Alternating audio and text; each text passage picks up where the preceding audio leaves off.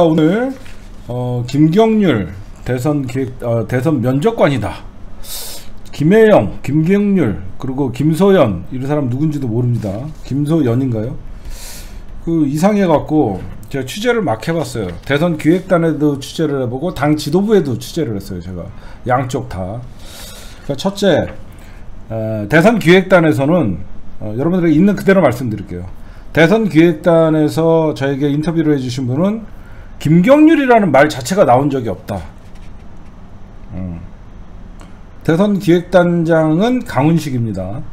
이게 무슨 말이냐면 어, 오늘 대선 기획단에서 면접관 얘기를 하는데 김경률이라는 말이 나온 적이 없대요. 진짜요? 나온 적이 없는데 어떻게 강훈식은 어, 이소영이가 4시에 브리핑을 하고 4시 30분에 브리핑을 하고 그 다음에 강훈식이가 어, 수습을 했냐 어? 그게 말이 되냐라고 해서 제가 당 지도부에 얘기했어요. 당 지도부 송영길 대표 쪽에 제가 취재를 했습니다. 취재를 했더니 우리는 모른다 라고 서로 떠밀고 있었어요. 그러니까 대선 기획단은 우리는 회의에서 김경률 얘기를 한 적이 없다. 근데 갑자기 느닷없이 이소영이가 4시 반에 브리핑을 통해서 면접관 패널로 김경수, 김경률 회계사를 선정했다. 김혜영 얘기를 합니다. 그래서 제가 소유길 당대표 쪽에서 그게 말이 되냐. 당대표가 면접관이 누가 됐다는 거를 당대표가 사인이 오케이 하지 않으면 이게 말이 되냐. 라고 제가 강하게 따졌습니다. 그래서 제가 취재해본 결과 대선 기획단에서 김경률을 말이 나오지 않은 건 맞는 것 같아요. 근데 강은식이 브리핑이나 이런 것들을 보면 대선 기획단과 다르게 강훈식과 일부 몇 명, 이소영, 강, 이, 강훈식 등에 의해서 이 면접관이 확정됐다라는 걸 먼저 발표를 한 거예요. 그러니까 대선 기획단 한 명은 그, 어, 저에게 어떻게 얘기했냐면 회의에서 그런 말은 없었다. 회의에서 그런 말이 없었는데 그러면 누가 했냐? 그럼 말 안 해도 알지 않냐? 그럼 당 지도부거든요? 당 지도부에서 했다는 소리예요. 그러면 여러분들 이제 이미 나오는데 김경률을 누가 추천했냐? 조응천. 조응천이가 여러분들 기사에 나왔죠. 29일 날 김경률에게 전화를 합니다. 우리 당에 면접관으로 와줄 수 있냐? 조응천이가 김경률에게 전화를 하고 김경률은 괜찮다 싶어서 오케이를 했대요. 근데 당에서 난리가 나니까 강훈식이가 안 되겠다라고 하면서 김경률에게 문자 통보가 한 거고요. 그러면 김혜영이는 누구냐? 이소영이가 당연히 김혜영과 이소영이는 사법연수원 동기고 절친이죠. 그래서 김혜영과 김경률이 현재 올라왔다. 그래서 송영길의 발뺌은 거짓이다. 이거는 강훈식이가 대선 기획단장으로서 강훈식이 머리에서 나온 것이고 송영길이는 암묵적으로 오케이를 해줬기 때문에 오늘 이 사태가 터진 것이다 라고 하는 게 저의 최종 결정입니다. 결론입니다. 이, 이, 이해가 가시죠? 그래서 지금 어떻게 됐냐? 왜 그러면 이렇게 난리가 났냐? 더불어민주당 의원 단톡방이 있어요. 더불어민주당 의원 단톡방이 있는데 거기서 난리가 났답니다 심지어 정청래 의원님은 멘붕이 왔다. 어? 정청래 의원은 멘붕이 왔다. 그래서 어 그러면 누가 왜 무슨 의도로 김경률과 김혜영을 추천을 했냐? 그랬더니 이소영 대변인이나 대선 기획단에서 하는 말이 독한 면접을 하기 위해서입니다. 아니 독한 면접을 하기 위해서 독을 끓여드립니까? 이건 말이 안 되죠. 저는 백보 양보해서 김혜영이나 지금 김경률은 관뒀죠. 유인태가 차, 후임으로 유인태를 했는데 100번 양보해서 김혜영이나 유인태는 민주당 당원이에요. 무슨 말씀인지 아시겠어요? 김혜영이나 유인태는 조국 장관에 대해서 쓴소리를 하고 검찰개혁에 대해서 부정적인 얘기를 하지만 100번 양보하더라도 얘네들은 그나마 다 당원이야. 그러나 김경률은 윤석열 딱가리 아닙니까? 윤석열이랑 만나갖고 밥 처먹고 윤석열과 함께 그랬던 자 얘는 적이에요 적 김경률은 적이에요 그쵸? 김경률은 적이라고요 적 도대체 민주당이 어떤 잘못을 했냐 조국 전 장관님이 대법원에서 사모펀드 문제는 무죄 판결을 받았잖아요 그쵸? 사모펀드 무죄 판결 나왔잖아요. 그러면 민주당은 김경률을 불러다가 면접관을 시킬 게 아니라 조국에게 사과하라고 싸워줘야죠. 조국이 사모펀드에 운영하지 않았다는 게 대법원에서 확정이 났다 그러면 여태까지 김경률 너 조국한테 네가 사모펀드에 배우고 네가 운영하지 않았냐? 라고 하면 민주당은 강하게 김경률을 혼내야죠. 제가 왜 열이 받았냐? 민주당은 김경률을 혼냈으면 혼나야 됨에도 불구하고 김경률을 면접관으로 앉히는 자체가 김경률에게 면접을 주는 거예요. 그렇지 않아요? 혼내고 반성시켜야 되고 정말로 따갑게 회초리를 들어야 되는데 김경률을 민주당에 그것도 대선 후보 면접관으로 앉혀준다는 자체가 김경률에게 면접을 줘. 어, 너 그동안 잘했어요. 이게 말이나 됩니까? 말도 안 되는 소리죠. 혼낼 놈을 안 쳐다가 그것도 민주당 대선 후보를 면접을 보라? 무슨 자격으로? 당원이야? 적을 적 그럴 바에 윤석열을 앉혀놓지 한동훈을 앉혀놓지 차라리 한동훈을 앉혀놓고 가장 조국 장관과 그의 가족을 괴롭혔던 한동훈을 앉혀놓고 대선 면접을 보지 어? 이게 말이나 되냐고 응? 그래서 제가 야 이거 이상하다 어? 여러분들 제가 그래서 이제 추가로 분석을 좀 했어요 어떤 분석을 했냐 강훈식이가 누군가 이번에 오늘의 책임은 강훈식과 송영길이에요 제가 취재한 결과라고는 강훈식 대선 기획단 단장, 단장이 이 내용을 대선 기획단에서 회의조차 안 하고 자기가 송영길에게 보고하고 송영길과 강훈식이가 발표한 거예요. 이거는 제가 정확히 팩트를 말씀드리면 여기서 어떤 일이 있었냐 중간에 취재를 좀 더 해보니까 민주당 최고위원회에서 절대 이건 안 된다고 극구 발, 안 된다고 반대를 했대요. 민주당 최고위원회에서 이게 말이나 되냐고 하면서 최고위원회에서 절대 안 된다고 반대를 했음에도 불구하고 강훈식이가 발표한 거 이소영이 발표하고 강훈식이가 밀어붙인 것은 그건 송영길 당대표의 재가가 없으면 안 되는 거예요. 그렇죠? 송영길이가 오케이 하지 않으면 최고위원회에서도 반대하는데 그걸 밀어붙일 수 있는 사안이 아니에요. 그런데 지금은 어떤 짓거리 하냐? 여러분들 제가 취재하는 과정에서 새로운 것들을 좀 알았어요. 이소영이라는 이 국회의원은 뭐든지 분명히 본인이 한 것 같아갖고 의원들이 물어보면 본인은 아니라고 얘기합니다. 의원들 사이에서 파다예요. 지가 한 거 뻔하면서 지는 아니라고 하면서 눈 크게 뜨고 발뺌하는 게 이소영의 특징이라고 합니다. 그럼 강훈식이는 누구냐? 원래는 손학규계예요. 제가 다 찾아봤죠. 강훈식이는 원래는 손학, 손학규 계파에 있다가 지금은 이낙연 쪽에 가까워요. 강훈, 강훈식이는. 근데 제가 뭔가 이상한 게 여러분들 잘 봐요. 김혜영, 김경률 누구보다도 조국 장관의 검찰 개혁을 비판했고 조국 장관의 내로남불이라고 하면서 비판했던 자들이죠. 그러면 왜 이 사람들을 면접관으로 하려 그랬냐? 그쵸? 왜 이 사람들을 면접관으로 굳이 김경률과 김혜영으로 왜 이 사람들을 면접관으로 했냐? 이거는 추미애 죽이기다. 소름 끼치는 분석을 한번 해드릴게요. 왜 이거는 추미애 죽이기냐고 느꼈냐면 누구보다도 김경률이나 김혜영이 그쵸? 김경률이나 김혜영이 만약에 면접관으로 들어왔을 때 당연히 조국 장관과 함께 검찰 개혁을 밀어붙였던 추미애 장관한테 어떤 질문이 가겠어요? 그쵸?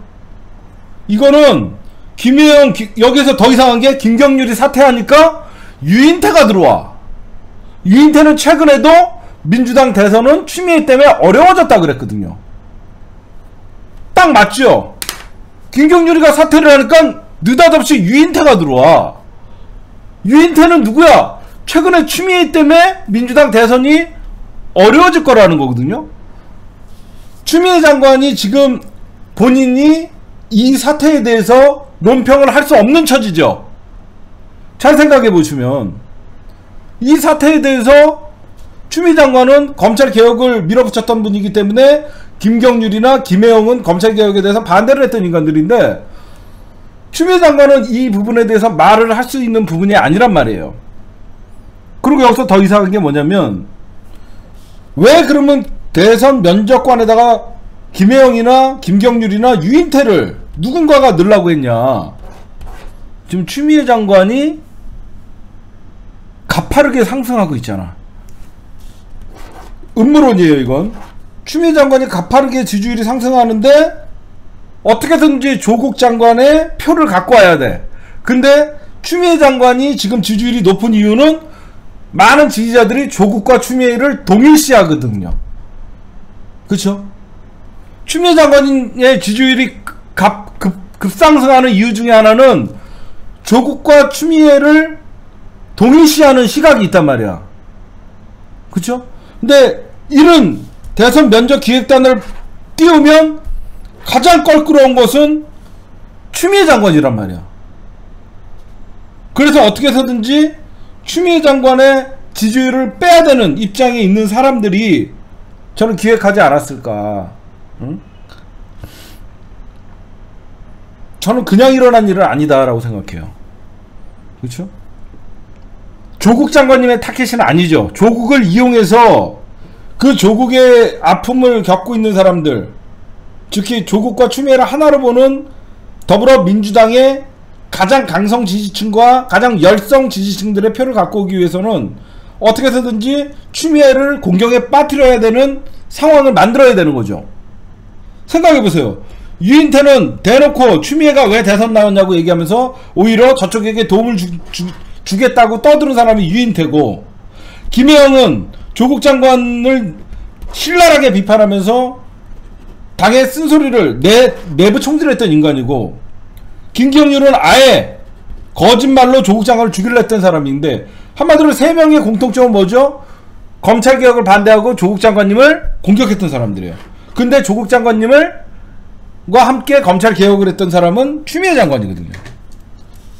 처음에는 나는 이거 타겟이 이낙연인가? 아니, 아니 타겟이 이재명인가? 라고 생각했는데 이재명이 아니야. 가파르게 상승하고 있는 추미애야 이건. 어? 아니 이낙연 의원이 했다는 게 아니에요. 여러분들 오해하시면 안 돼요. 이낙연 의원이나 그런 사람들이 했다는 게 아니에요. 이거는 강훈식과 송영길의 작품이에요. 이건 추미애 죽이기다. 근데 좀 이상해요. 기다렸다는 듯이 이낙연과 정세균의 메시지가 거의 비슷하게 나와요. 정세균과 이낙연의 메시지가 내용도 비슷하게 신속하게 나온다는 거예요. 그렇죠? 이상하죠. 기다렸다는 듯이. 기다렸다는 듯이 이낙연과 정세균 가장 조국 장관님의 표가 아쉬운 사람들 메시지가 빨리 나오더라고.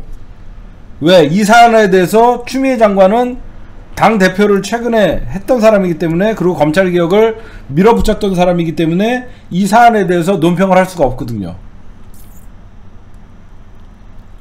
제가 취재해 보면 이건 추미애 죽이기다. 그렇죠? 김혜영이나 김경률이나 유인태가 대선 면접관으로 왔을 때 가장 이득 보는 사람이 누굴까? 가장 피해를 보는 사람이 누굴까? 추미애다. 이거는 추미애 죽이기다. 라고 저는 생각합니다. 여러분들, 지금 제 얘기를 듣고 이 모든 게 이낙연이 뭐 기획했다. 그렇게 하는 사람들은 갈라치기 하는 거예요. 절대 그렇게 말하지 마세요. 무슨 증거로 이낙연 대표가 했다 그럴 거예요. 그건 아니고 이거는 분명히 송영길과 강훈식이가 저지른 일이 많고요. 그 다음에 여기서 뭐가 여러분들에게 말씀드릴게요. 그러면 추미애 장관은 왜 말을 할 수가 없냐? 추미애 장관이 김경률이나 누구죠? 유인태, 김혜영을 비판을 하게 될 경우에는요. 이 대선 판도가 개판이 돼버려요. 아예 저것들이 원하는 조국 수호 대 반조국으로 나눠져 버리는 거예요. 그래서 지금 법무부 장관들 했던 추미애 입장에서는 논평을 내기가 힘든 추미애가 말하기 힘든 부분이거든요. 그렇죠? 추미애 장관이 말하기 힘든 부분을 이렇게 만들어 놓은 거예요.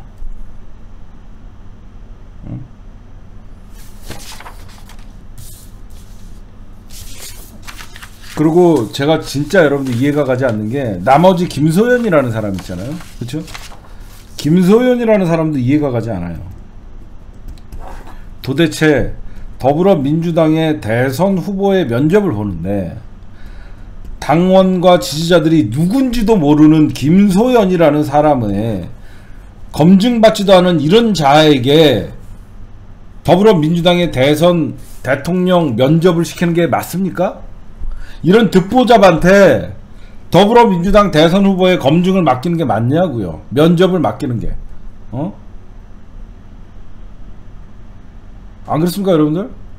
도대체 검증도 받지 않고 누군지도 모르는 이런 자에게 어? 대통령 후보들의 면접을 맡기는 게 맞냐고요. 어? 오늘 제가 취재한 결과 이거는 다분히 이재명 지사가 무슨 뭐뭐 뭐 컨셉 좋다 그랬나요? 뭐 뭐 김경률 뭐 뽑힌 거에 대해서 어떻게 생각하시냐 이재명 지사도 말을 하면 안 됐죠. 빨려 들어가는 거죠. 친노 친문과 조국 소대 어, 비조국으로 나눌라는 언론의 프레임이죠. 거기에서 괜찮은 구성이네요라고 했던 거는 이재명이 말씀하시죠. 그렇죠? 어? 이재명이 이걸 찬성했다라고 얘기하는 건 자체는 이재명이 실수죠. 이렇게 가면 안 되죠. 차라리 당과 지도부가 알아서 했겠죠라고 했으면 됐죠. 이재명도 그렇게 얘기하면 안 되죠. 차라리 추미애 장관과 같이 침묵을 지키는 게 낫죠. 응? 대놓고 김경률이 잘 됐다. 이거는 대놓고 반조국을 이재명은 자기는 반조국이다 라고 해버리면 본인에게 어떤 득이 있을지 몰라도 그 수많은 촛불을 들었던 사람들에게 염장을 지르는 거죠. 이재명이 잘못한 거죠. 이렇게 하면 안 되죠, 이재명. 응? 차라리 침묵을 하는 게 낫죠. 추미애 장관이 지금 침묵을 하고 있어요. 왜? 말을 하는 순간 싸움이 벌어지니까. 응? 이재명도 말을 아껴야죠. 조국 김경률에 대해서 비판하기 본인이 껄끄러우면 말을 안 해야죠. 비판도 못하고 어? 저는 민주당이 오히려 조국을 소환한다고 생각해요. 제가 가장 화난 건 뭐냐 조국에 대해서 날선 비판을 했던 사람들은 민주당에서 대우해 준다는 게 너무너무 분노스러운 거예요. 조국에게 날선 비판을 하고 조국 장관과 검찰 사태 때 검찰을 옹호했던 자들이 민주당에서 대우를 받는 이런 분위기가 민주당이 과연 이렇게 하면 되냐 어? 저는 그게 가장 화가 나요 민주당이 그들을 혼내줘야죠 김경률을 혼내야죠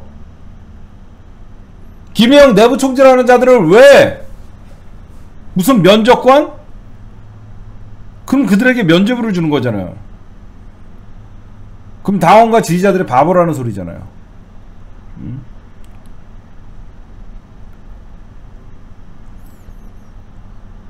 조국을 소환하는 건 조중동이 아니라 오히려 지금 보면 조국을 부끄러워하고 하, 민주당이 아닌가 생각합니다.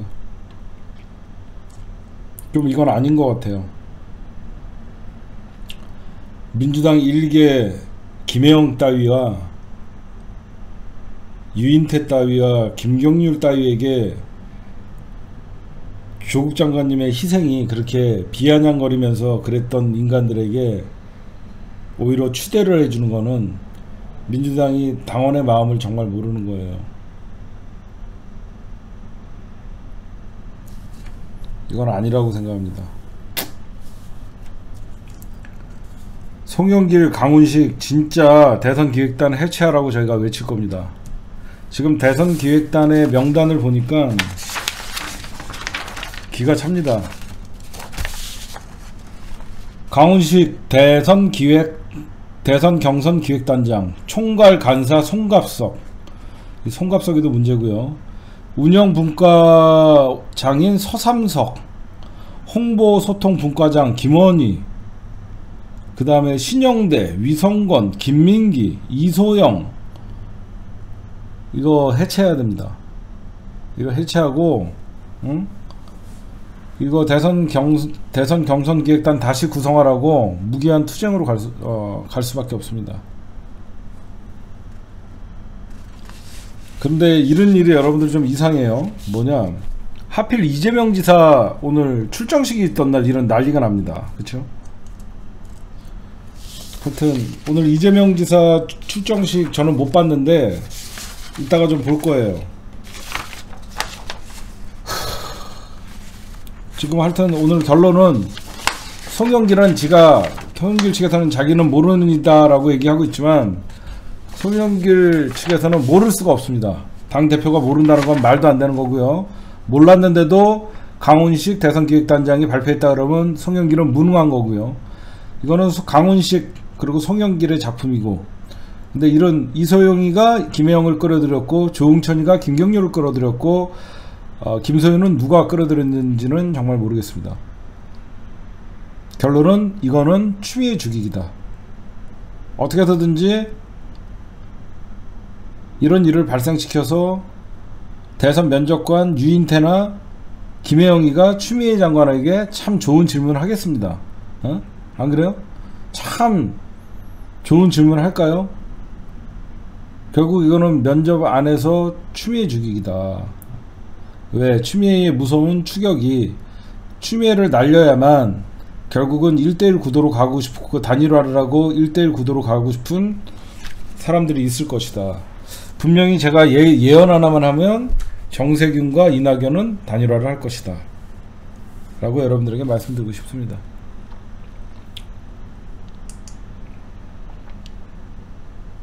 제가 오늘까지 취재한 거예요.